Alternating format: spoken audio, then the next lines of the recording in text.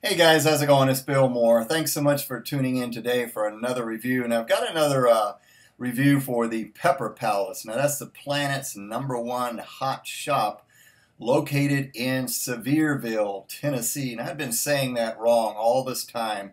I've been calling it Sevierville, but uh, I was corrected.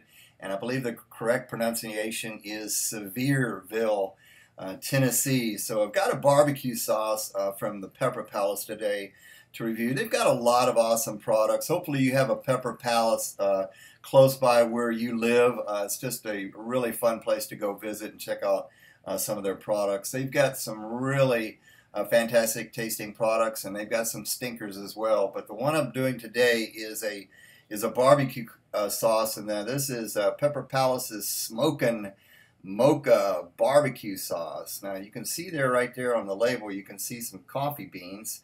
So that ought to give you an idea of what this one's made with. So um, let's go ahead and get into this. Um, I'll go ahead and read the ingredients. Now this starts off with a lot of your basic ingredients in a regular barbecue sauce, but there's two ingredients, I've already shown you one, that really make this one very, very special. So we start off with vinegar, then we've got brown sugar, tomato paste, molasses, garlic powder, you know, that's normally what you find in a barbecue sauce. Then we've got smoked habanero peppers, onion powder, salt. Now here's the next ingredient which makes this one really good. Dark roast coffee. Have you ever had coffee in a barbecue sauce or maybe coffee in a, in a spice rub? It's just really, really good. And then we've got cocoa powder. That's the other ingredient that makes this one special.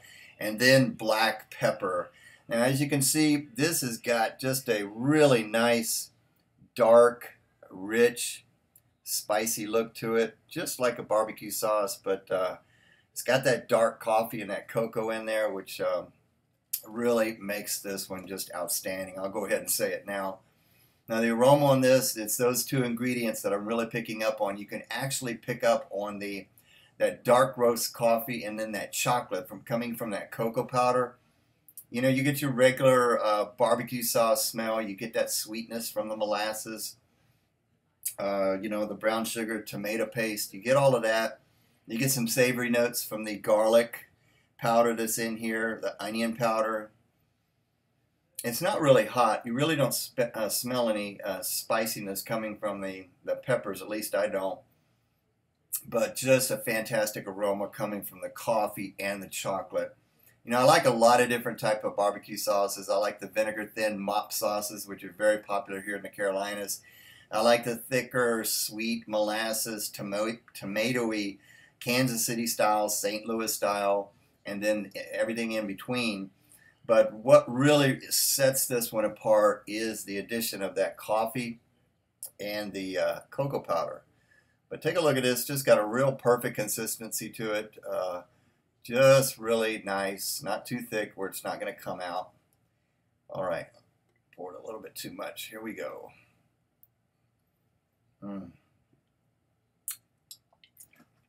Mm. Wow. Excuse me, went down the wrong way. This stuff is amazing. It is delicious. And once again, you're getting that nice, rich coffee flavor, the cocoa powder flavor, which really adds a lot to this. You got your regular nice sweetness from the molasses and from the um, brown sugar. You got that nice tomatoey garlic, onion, you know, flavor coming, uh, you know, like you find in a normal barbecue sauce. But the addition of the chocolate and or cocoa powder and the dark roast coffee uh, just makes this outstanding. Now, I don't have any pictures to show you for this review, but I put this on burgers. I grilled up some chicken thighs, excuse me, chicken thighs with it, chicken breast, pork. It's fantastic on pork. Uh, so just a, a, winner from the Pepper Palace. I'll give this a strong 9 out of 10 for flavor. This one's highly recommended. Uh, if you like a barbecue sauce, but you're looking for something a little bit different, um, check this one out. It's really, really good.